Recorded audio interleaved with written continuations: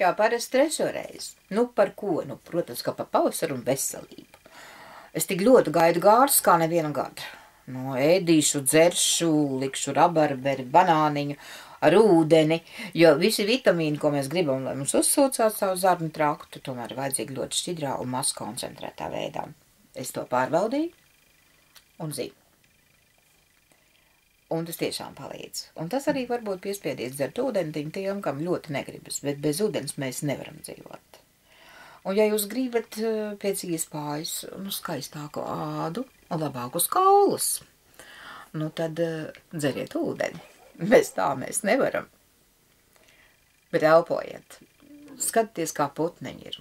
Man te sētā ir tāds koris visu dienu, un ir tik daudz to putnu, kas šeit ligzdvī. Nu, pat šodien ar no rīta ieraudzījām pavisam kaut ko jaunu. Vakarā jāskatās putnu grāmatā, kas tad tas no atkal ir atlidojis. Bet tas ir atkal kaut kas tāds, kas pagājuši gadu nebija. Mums mainās klimats. Nu, mēs kurzemē šeit esam pilnīgi citā laika zonā.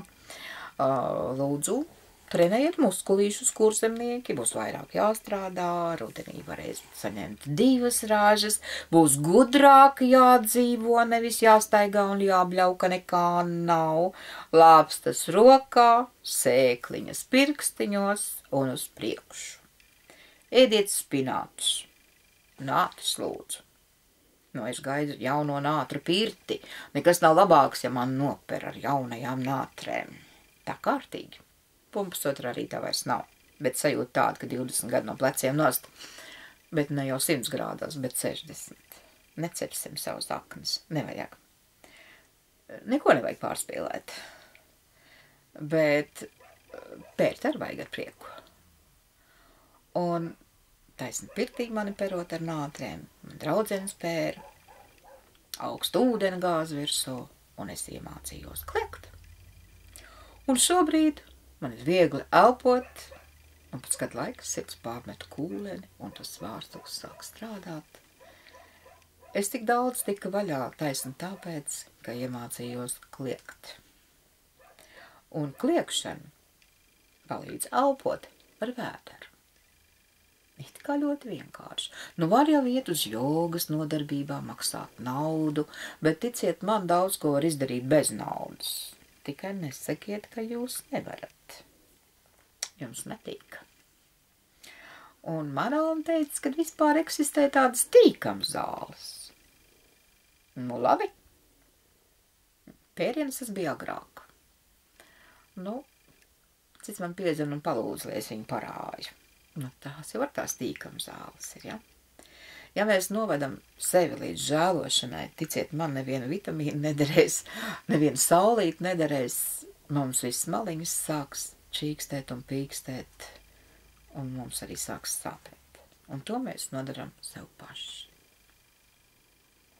Man jāsaka, gan manā jaunībā tik daudz to čīkstuļu nebija. Jo šobrīd tas nav, šis nav. Bet ja jau nav, tad nevajag bet meklējiet, ko jums vajag, ko jūs vēlaties. Un šis ir sapņošanas laiks. Nu, ne jau kaut ko pagājuši. Kā man te daži labi jaunieši, es tā kā gribētu arhitekts, bet atzīmes tā kā švakas, kāds tu arhitekts būsi. Kāds grib būt inženieris, bet tās atzīmītas, nu galīgi nekādas. Nu jāmeklē kaut kas cits. Esiet tik laipni, māciet saviem bērniem izvēlēties amatu, lai var nopelnīt maizi. Sāksim ar to. Lai divu gadu laikā, trīs gadu laikā, tam bērnam pēc skolas būtu pamats zem kājām, un viņam būs maize, un pēc tam būs arī jumts. Un mācīties var visu mūžu, profesiju mainīt var desmit reizes, ja ir vēlēšanās. Bet nevis mācīties uzņēmē darbību, beidzot pēc trīs gadiem gaidīt, ka liks direktora amatā. Tā nav un nebūs. Par vadītāju un direktoru ir jāpiedzimst, un par ārstu arī ir jāpiedzimst, un par skolotāju arī ir jāpiedzimst. Ir jābūt vēlmei palīdzēt. Bet man gribās. Nu, ne jau viss var dabūt to, ko gribās. To jau var tā kā vajadzētu bērniem ieskaidrot. Gan lieliem, gan maziem. Ieklausieties sevi Un tā vislielākā laime tomēr tad, kad mēs darām to, kas mums ļoti patīk, bet arī kas mums vislabāk izdodas. Un lai jums izdodas šo pavasari palīdzēt sev un saviem tuvākiem. Atā.